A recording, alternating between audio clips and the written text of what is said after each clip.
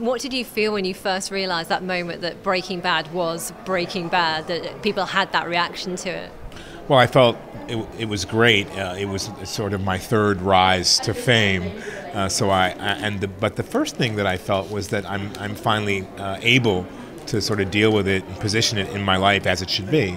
Uh, it feels I'm very comfortable in my own skin and I'm comfortable with people. It's finding that space that is out of the ego space that allows you just to, to be you. Sometimes it makes me laugh and it's quite funny, and other times I'm thinking, wow, how crazy is this that people don't even really know my name? And then I get a little angry behind that, that Gus is more famous than I am. it's such a great thing. You know, I mean, here's the guy who created every motion, every part of this character, yet people know his name and don't know mine. so it's like, you know, you can't win for losing, you know. so, uh, so I, I it, it, reminds me to be madly in love with the work and the work only, and then I come here to give back to the fans who so want to have that personal experience. It's nice. I'm sure they really appreciate it, and I know they have done. You've been queues around the block today to see you. You talked about, you know, you obviously being the man behind the creation of Gus Fring. How did you go about getting under the skin of that character and creating him to be the character that we all loved to watch on that show? Well, I should really correct myself. I can't take full and complete responsibility because the character was written. Vince uh, Gilligan wrote a character who was basically a glorified waiter, and that's all he knew. He knew one thing that he wrote that was so profound for me, that was my clue, was hiding in plain sight. And when I started to think about that, there was one episode of Gus written and, and a template for a second where he would be involved in it. But that those words, hiding in plain sight, made me really think and inspired me. And when I was asked to come back for a second episode, uh, I should also say I was a waiter in my life. And, uh, you know, it's interesting to wait on people. Uh, in many ways, the fans today wait on me. They want my autograph. But when I'm waiting on people, I'm showing my best face. I'm showing that best side of myself so I can, um, you know, get a good tip, so I can keep my job. Uh, all those things that I may not be feeling in the moment when I'm asking them, uh, is everything to your satisfaction? Would you like a refill? You know, I may not really feel like that. And when I started to think about Gus and this guy, I, I thought this is my route in to really thinking about someone that we all might know who is doing something quite different than what he is projecting, what he's putting forth. And that was the key for me. And that was the beginning. That was the beginning of a, a, plethora of ideas that allowed me to really be a citizen of our society, someone who gives to the fun run, someone who you know gives at the hospital, but someone who's hiding something. Uh, and he's yet a businessman. He's hiding something. And I thought, how many people do we know in our lives who are hiding something? Definitely, very scary, isn't it? I mean, you mentioned, of course, Vince Gilligan there, who created the show. I mean, how much how much input did you get as the show went on into that character of Gus? Well, this is the way I like to put it. I was so inspired by the writing of Vince and his writers, and the one line, "hiding in plain sight," that I brought forth what I wanted to give it in those the very first episode. Before I got off the plane, uh, as the plane was landing, my phone was ringing saying, Would you come back? So, what I did inspired Vince. And I like to look at it that way because then he was inspired to write more and deepen things. And then we had a conversation.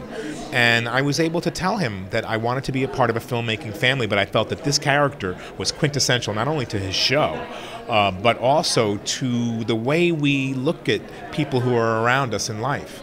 And I wanted to create a gentleman who was very meticulous and very methodical, but yet was more of an observer. But yet, underneath it all, he wanted to help people become their best selves. Why would anyone cultivate chemists directly uh, put them through college and make an agreement for them to cook for him. He's very meticulous and wanted the highest quality of the product he was about to produce. Very few people are like that. We mass produce things, we, we throw crap against the wall, we hope it sticks, and we hope that our ideas will make a million when they're half baked. This guy thinks things out, and it was a really great, great way to look at um, how we follow through in terms of what we want for our success in life. And I thought people would really be interested in what I had to lend to this character. And of course, you're working with another character in the show who's also a perfectionist, isn't he? Um, Bryan Cranston's character, Heisenberg, as his pseudonym is. I mean, he's a perfectionist because he wants to get that as pure as possible as well, doesn't he? I mean, what was it like working with him as an actor? I love Bryan. I think um, when I work with Bryan, I think of a master actor. And I think we make great music together. And, and I know that that's what uh, Vince and the producers at AMC saw. Uh, we had fireworks together. Uh, you know, there's, there's two ways to do it. Actors who are with actors who are as strong as they are uh, sometimes fight and vie for position so that they're trying to one up each other. There are the actors who feel that they may be weaker than their scene partner, so then they shrink. And there are actors who just stay in the moment and don't lose their footing. And that's who Bryan is. He didn't. He knew who he was as Walter White. I knew what I was trying to create as Gustavo Fring. There was no issue for me to try to top him or him to top me. We just knew our ground and we made music, and that's when the music is the best. So I adore him as an actor and as a human being, and I feel like the music we made together was some of the sweetest music I've ever made with any scene partner ever. That's fantastic. We certainly enjoyed watching it. I mean, it was a shame that the show ever had to come to an end, but it was great that it went out on such a high, I think. And of course, now we've had news that there's going to be a prequel with Better Call Saul. I mean, what did you think when you heard about that? I was jealous. I mean, what did I think? Because then I heard months later that it was either uh, Better Call Saul or it was The Rise of Gus. And because Vince had already fleshed out with Bob, who I adore, another great human being, great actor, great comic, Odenkirk, they had already talked about um, doing a spinoff for Saul because that would be fun you know. Uh, and so, yeah, the first reaction was, well, shit, you know, or shite. why, why not me? Uh, but, you know, I believe now that there's nothing that's for you. If it's for you, it'll be for you.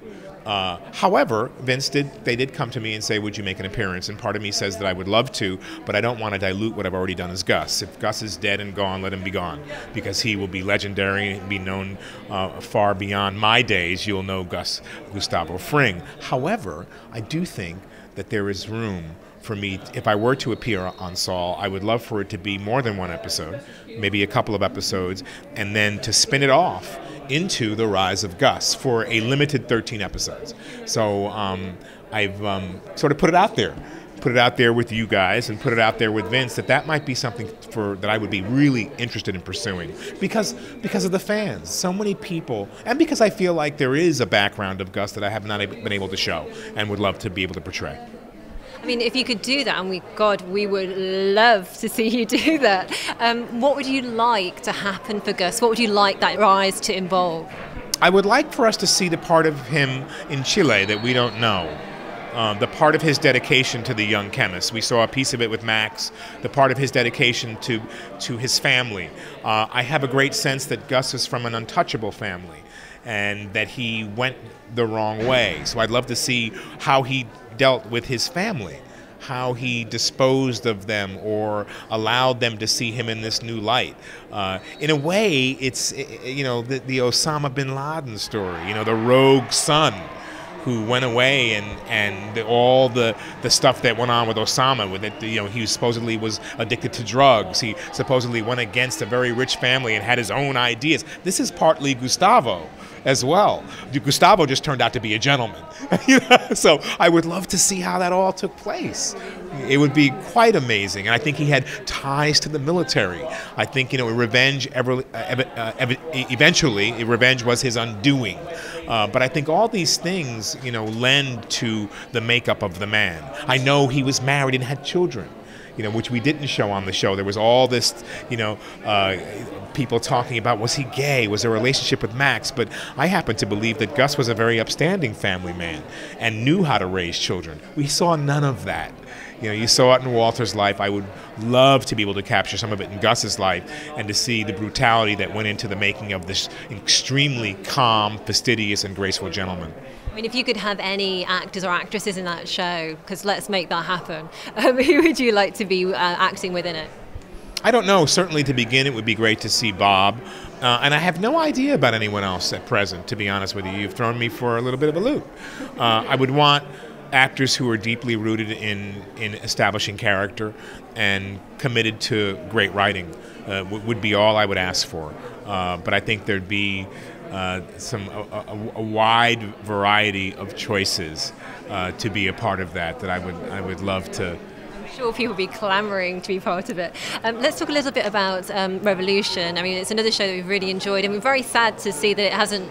It's not going to be continuing. I mean, what did you feel when you when you heard that news? Uh, well, I was saddened. You know, uh, I do feel like many parts of Revolution had so much potential and I feel uh, really great about Eric Kripke, who created the show, and J.J. Abrams, who, who co-produced the show. Uh, I was saddened because I, I feel like th- that I was really moving toward the the continuation of creating such a great character uh, in Tom Neville. I mean, a, a, guy who really came from nothing and was beaten down and learned to be a survivor and learned to be a killer and a leader. Very complicated human being, and I had more to, to, to say in that regard. Um, I, I do I, I do think that an ensemble show and a network show has to have so many elements that please so many different people across the board that it's much more difficult to be more fine tuned about things. And to be broad is to, to have to have a little comedy and have to have some science and all these things, which is a lot to get into 42 minutes of television.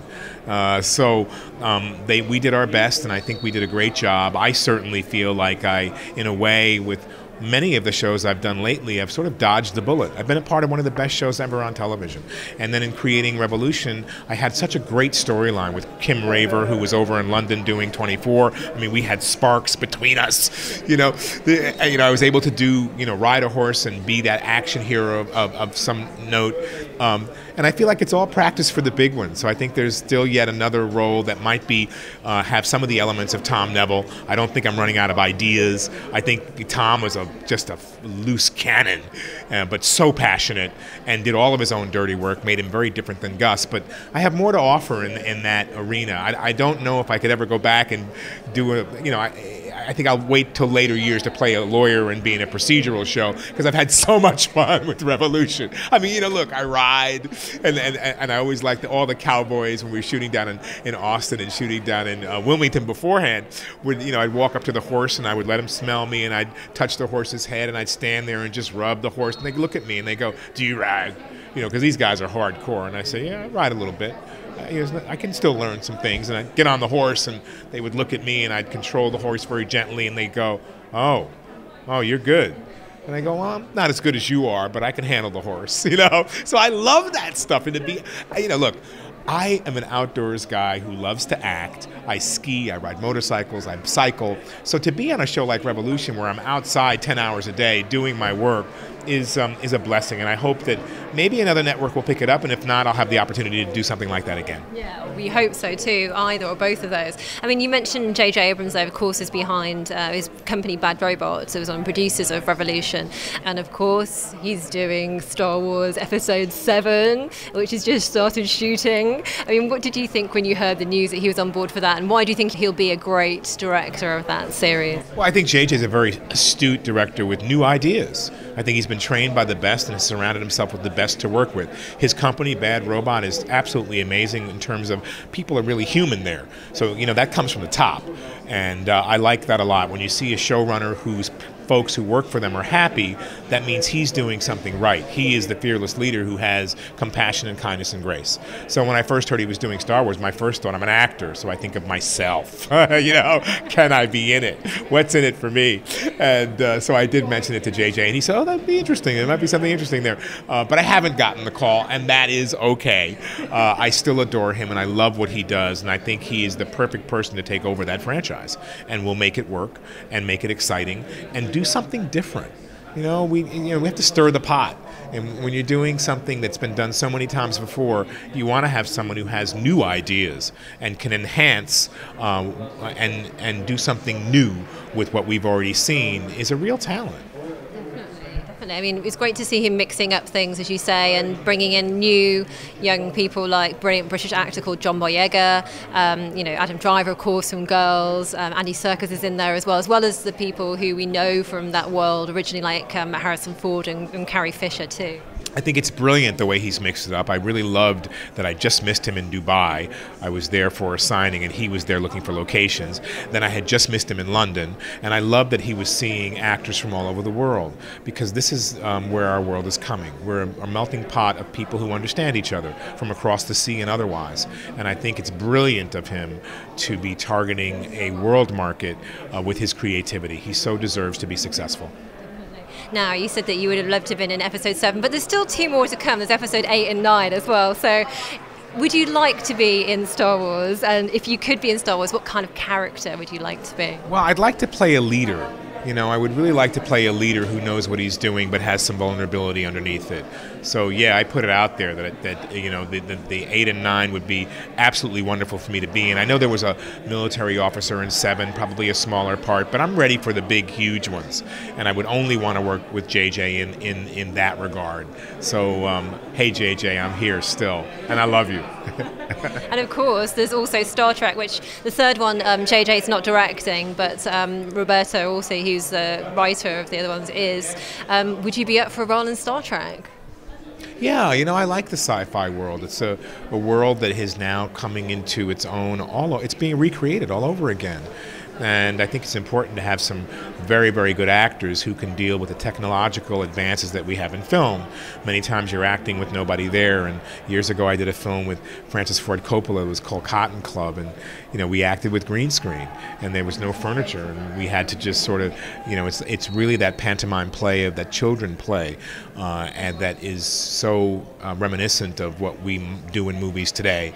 And uh, I love the technology of film, and I'd love to be involved in something like that again. What would you like to say to the fans out there of yours that are watching this video right now? You know, I really like to say thank you for supporting me. You know, I come to these Comic Cons because I think that the fans who are so loyal to me, I'd love to be able to give them something, uh, a piece of myself back to them. And uh, and so all those Breaking Bad fans who expect me to be like that all the time. They, they are always surprised when they see this great smile. I want to let them know who I am and how much I love them for supporting me, and I love what I do. So I believe that what you think grows. What you think and hear uh, grows, and it grows in a way that if you do something every day, if you do something today, to determine your tomorrow, it'll come true. Uh, because that's what dreams are. Dreams are thoughts that are worked on and put into the universe and practiced and believed in, and then they can come true. And uh, I certainly have had my dream come true because I don't work a day in my life because I love what I do. Oh, what a beautiful point to finish on. Thank you so much for speaking to us today. Pleasure, Jan. Thank you for having me.